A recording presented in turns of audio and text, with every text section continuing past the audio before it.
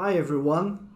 As an introduction for the integration of BIMCollab in DDS-CAD interface, in this video I'm going to show you how you can open a BIMCollab project in the BIMCollab BCF Manager. First of all, let's open the BIMCollab BCF Manager in DDS-CAD. To do so, we come to the menu Tools and we select the option BIMCollab BCF Manager.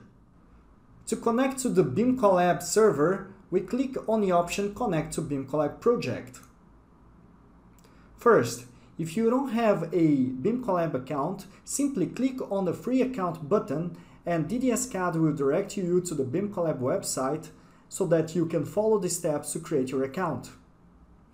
After you have your account, you are going to insert your email and password here. Then we click Connect.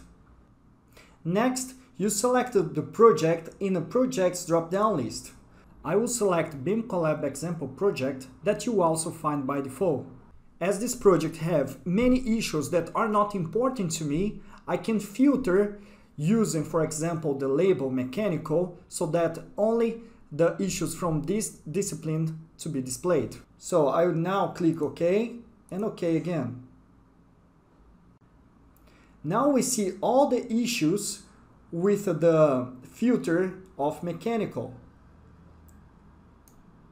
To see in the model a, an issue, we double click the snapshot. Else, by open the context menu, we can clip away surround geometry. In this case, we can see that this column is clashing with this uh, supply duct. And this is the information that we can see here. By double click the text, we see here the comment that has been inserted. The ventilation duct clashes with the structural columns. Please move the ducts. You can reproduce the steps of this video using the latest DDS-CAD 14 or DDS-CAD Viewer. To do so, download the IFC models in the link below. Cheers!